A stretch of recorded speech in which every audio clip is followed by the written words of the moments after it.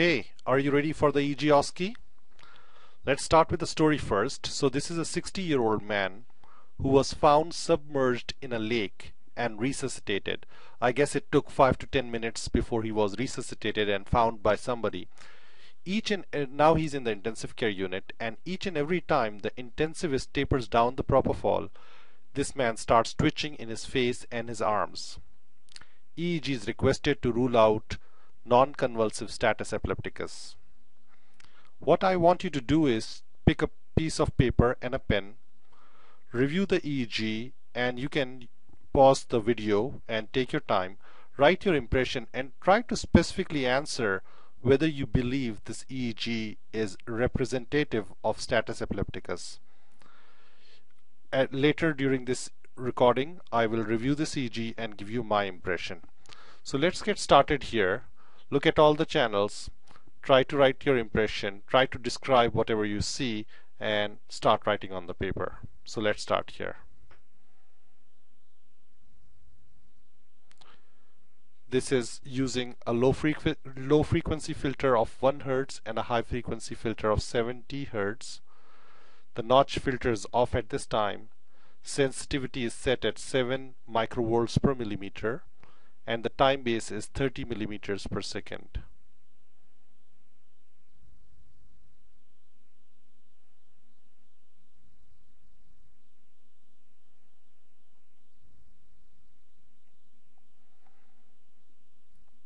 If you believe that this is status epilepticus, then write that in your impression.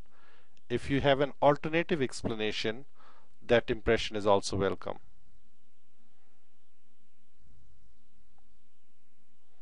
If there is something that you believe is ictal, describe that.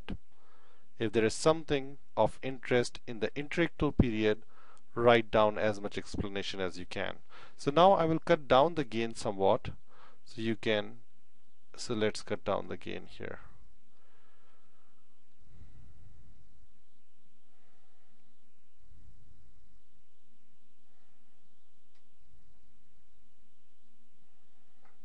we are looking at a sensitivity of 15 microvolts per millimeter here. We've gone up to 10 microvolts per millimeter and this is 7 microvolts per millimeter.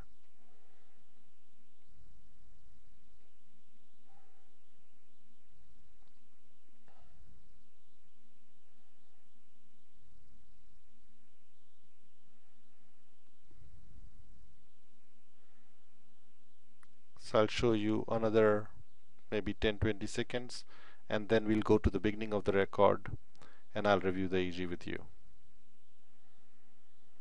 So for the 30 minutes of recording the EEG just continued this way. Okay? And that's it. So let me just go to the beginning of the record. So we are just moving backwards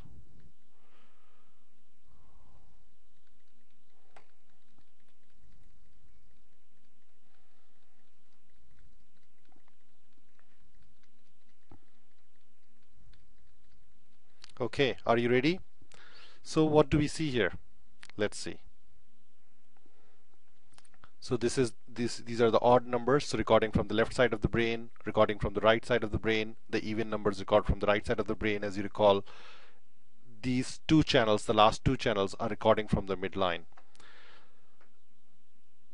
Okay let's move on. So what you see here you see these spikes periods of spikes with maximal amplitudes here at CZ here these are more or less C4 and you do see some spikes at C3 area here.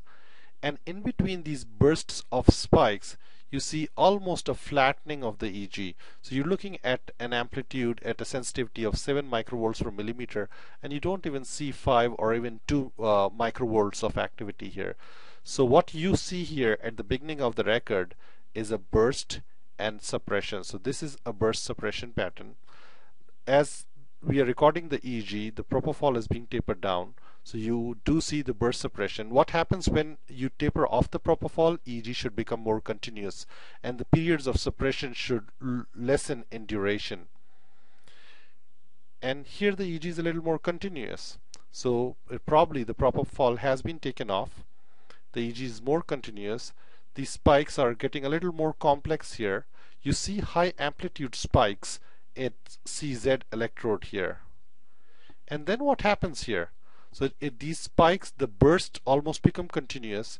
You do see sort of an evolution in the frequencies of these discharges and this becomes more and more continuous so you're looking at almost a seven second period of these are these can be classified as polyspikes because there are multiple spikes in these waveforms polyspikes and then what happens here so this goes and the amplitude starts going up and the discharges become continuous and then this continues to evolve until this point and you see more or less disappearance of these spike and waves. So by definition this is an electrographic seizure. So what is the definition of an electrographic seizure? You need to have a clear beginning which you do have. You see to you need to see a clear end and you do see a clear end. You want to see evolution in frequencies and amplitude which you can recognize here. Now some people may question whether this is just myoclonus in a patient who suffered anoxia. It's possible that it is myoclonus and myoclonus can be epileptic myoclonus and to determine whether this is coming from the brain or if this is just activity from the muscle if this is just artifact from the muscles people who are experienced will know that this is not but uh, for a novice one important place to look at is look at the CZ electrodes. If you see activity on the CZ electrode similar to activity that you see at C3, C4 or other parts of the EEG, then this is more likely an epileptiform discharge or an epileptic phenomena. It's very difficult. Put your fingers on the center at the location where you put CZ and try to contract the muscles. So muscle artifacts are least seen on CZ. Those are more likely to be seen in the temporal head regions. So here you don't see that. And then this is a so this is an electrographic seizure and it stops. And then if this person goes into another electrographic seizure which stops and yet another electrographic seizure. During these times this patient was twitching so the question now writing our impression whether this is status epilepticus yes the EEG shows multiple electrographic seizures which are very clear with a clear beginning with a clear end with evolution in frequency and amplitude. So electrographically this is status epilepticus. What about non-convulsive? I would not call it a non-convulsive status epilepticus. If they are witnessing twitching of the muscles in the arms and legs, then this is both a clinical and electrographic status epilepticus. So the impression here, so if you've written the impression that these this EEG is consistent with status epilepticus, you've gotten the OSCE correct. In terms of treatment of status epilepticus, well that depends on the etiology, that also depends on a number of factors, and I'm not going to go into management discussion on this EEG. Thank you for joining me and I'll see you at the next tutorial.